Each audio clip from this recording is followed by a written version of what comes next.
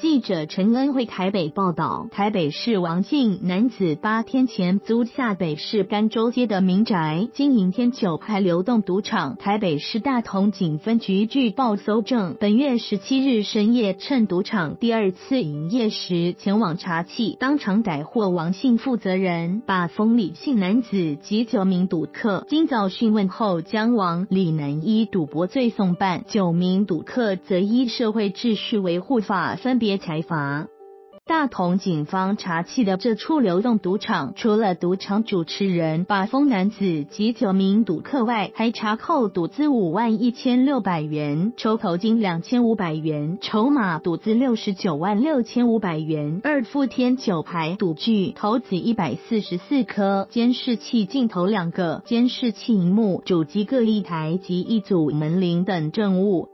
警方调查有多次赌博前科的四十岁王姓男子，今年九月十五日同样因经营赌场遭北市万华警分局查获，案件仍在北检调查中。但王贤见经营流动赌场有利可图，根本捉不怕。自本月十一日起，以日租金两千元的方式，在大同区甘州街一带租屋，利用 LINE 通讯软体揽客，门内外架设监视器。大同警分局长潘。乔治汇报，指示民生西路派出所及侦查队全力查缉，经布线查访，锁定赌场藏匿处所，掌握具体市政、持士林地方法院核发的搜索票进行查缉。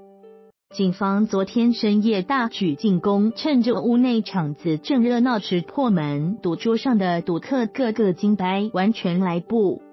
及反应，王贤公称他的赌场以饮料喝到饱，著称赌客可自备香烟及槟榔。赌场是以轮流坐庄的对赌方式，若赌客赢场，则以每四百元计次抽取十元的抽头金。开张营业第二天，目前已获利九千元。